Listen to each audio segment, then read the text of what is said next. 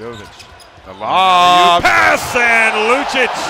What a play. Jovic knew exactly that Lucic was running down. You see the throwdown.